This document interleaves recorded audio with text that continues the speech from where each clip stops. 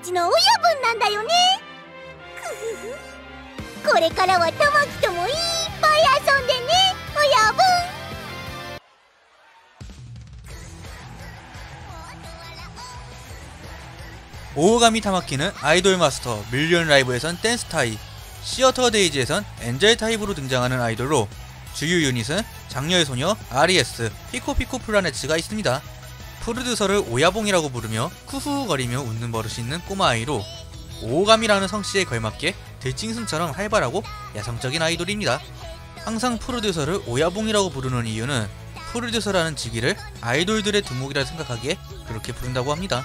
약간 그을린 피부에 활발한 체육계 소녀로 항상 밖에서 천진난만하게 뛰어노는 걸 좋아하며 가끔씩 어린아이 같은 사고를 치는 개구쟁이 초등학생이지만 의외로 키와 체중은 12세라고 하기에는 좀 큰 편에 속하는 아이입니다. 평소에는 수영복이든 미니스커트든 신경 쓰지 않고 평범하게 입고 있지만 교복이나 드레스 등 조금 성숙한 옷을 입으면 의식하거나 부끄러워하는 면도 있는데 어린아이이기는 하지만 속으로는 조금씩 성숙하게 성장하고 있다는 것을 알 수 있는 부분입니다. 타마키의 출신지는 나오시마 섬 출신, 섬마을 출신답게 도시 아이한테서 보기 힘든 활동적이며 밝은 아이로 또래 친구들이랑 산에서 많이 놀았을 것 같아 보이지만 자기가 살던 마을에는 자신 또래의 아이가 없었다고 합니다.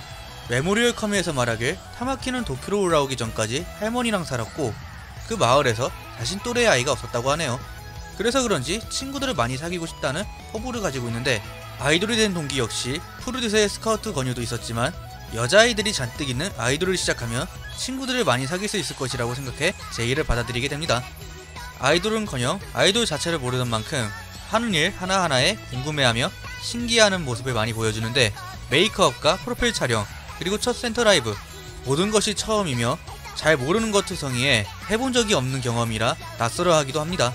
메이크업은 생애 처음 하는 화장이라 평소 화장을 하지 않은 자신의 모습과 다르게 괴리감이 들어 어색해하고 프로필 촬영은 평소에 가족들이 찍어주는 사진하고 다르게 이상해하며 센터 라이브는 그냥 라이브랑 어떻게 다른 건지 고민도 하지만 아무것도 모르는 단계에서 프로듀서와 주위의 동료들이 알려주며 하나하나씩 배워나가는 모습을 잘 보여줍니다.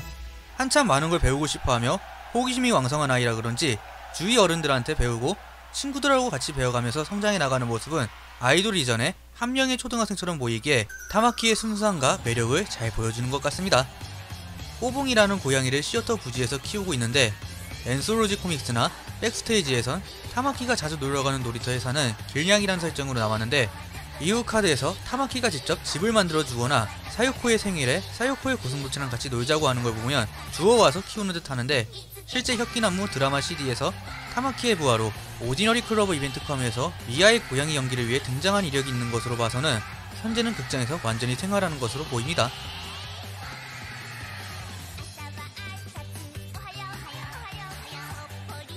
댕댕이 타마키의 담당 성우님으로는 이나가와 에리씨로 소속은 켄 프로덕션 소속이십니다. 어릴 때부터 무대에서 아역 배우로 활동을 한 이력이 있으신 분으로 의외로 예력이 기십니다.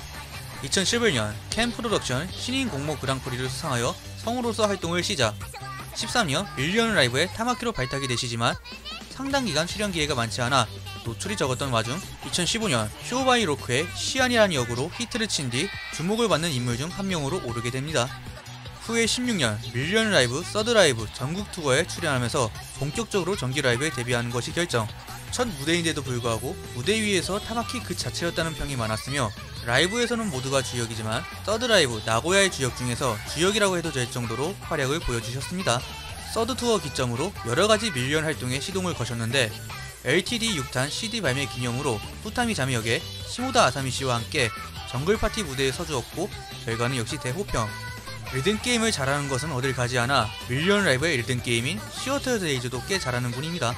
Million 팀의 39명 성우 중에서도 손에 꼽을 정도로 실력자로 알려져 있으며 게임 플레이 실력을 인정받아 팬들과 동료들 사이에선 이나과 선생님이라는 호칭으로 불리던 중 2018년 3월 28일에 진행된 벚꽃만개 봄의 밀리시타 생방송에서 발표된 게임 초보자를 위한 입성 영상 밀리시타 학원에서 선생님 역할을 맡기도 하셨습니다.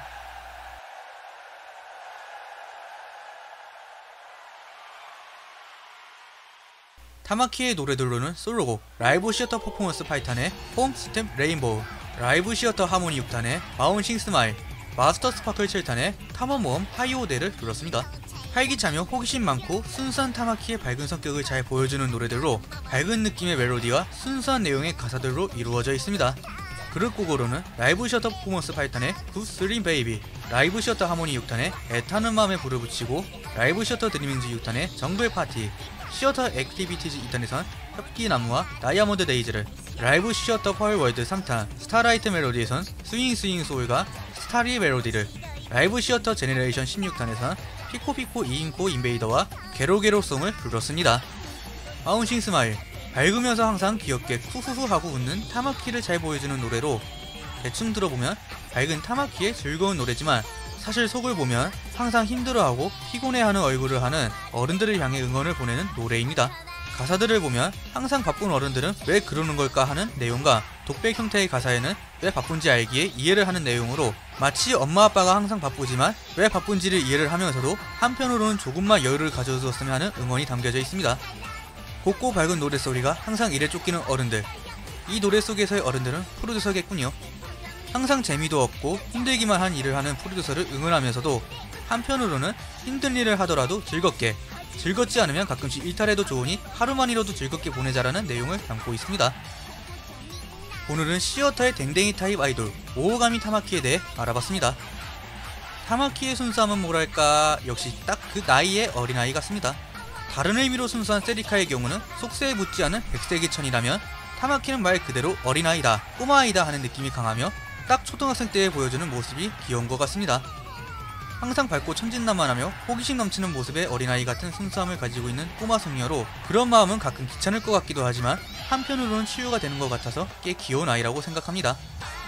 그런 이번 영상 여기서 마치고 전 다음 영상으로 찾아오도록 하겠습니다. 그럼 안녕